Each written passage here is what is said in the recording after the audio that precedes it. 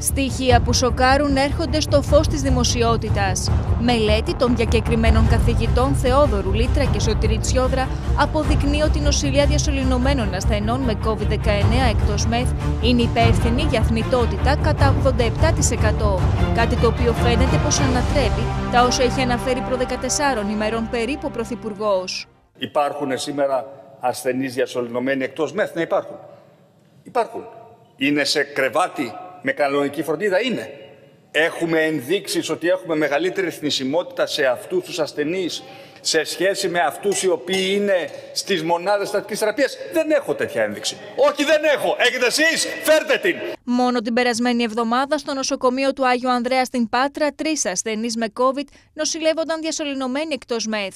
Από τους τρεις, μία γυναίκα μεταφέρθηκε σε μονάδα εντατικής θεραπείας COVID, ενώ οι άλλοι δύο απεβίωσαν. Η θνητότητα τουλάχιστον στους ασθενείς οι οποίοι παραμένουν για παραπάνω από 48 ώρες σε κοινές κλίνες είναι, αγγίζει το 100%.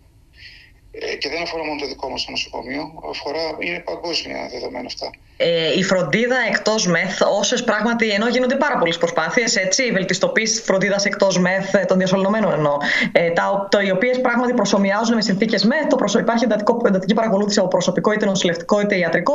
Καταλαβαίνετε ότι δεν φτάνει απόλυτα τις συνθήκες φροντίδας μιας μονάδας εντατική θεραπείας, όσε προσπάθειες και να γίνουν.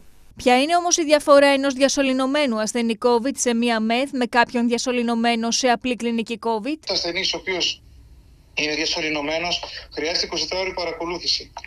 Πρέπει κάποιος να ελέγχει συνεχώς τα φάρμακά του, συνεχώς τον αναπνευστήρα, ε, συνεχώς ε, να κοιτάς ε, τι γίνεται, να κάνεις αναρροφήσει. Ε, και σε κοινούς θαλάμου δεν μπορούν να γίνουν αυτά τα πράγματα. Σύμφωνα με την μελέτη, υπάρχει μια αυξημένη θνητότητα σε μικρές επαρχιακές μεθ που χρησιμοποιήθηκαν κατά ανάγκη. Χαρακτηριστικό παράδειγμα το νοσοκομείο Αγρινίου. Είτε γιατί δεν υπήρχε η εμπειρία κάποιων άλλων αντίστοιχων μεγάλων κεντρικών μεθ, μεθ αναφοράς ας το πούμε για τον COVID είτε γιατί και δεν υπήρχε και ο εξοπλισμός ο απαραίτητος που θα διασφάλιζε αντίστοιχα αποτελέσματα σε σχέση με τις κεντρικότερες μέτρες. Ο εντατικολόγος Νίκος Παναγιωτόπουλος αναφέρει πως η κατάσταση είναι επικίνδυνη και η θνητότητα συνεχώς αυξάνεται. Η θνητότητα δυστυχώς είναι μεγάλη και είναι μεγαλύτερη από αυτή που θα έπρεπε να είναι βάσει των διεθνών δεδομένων.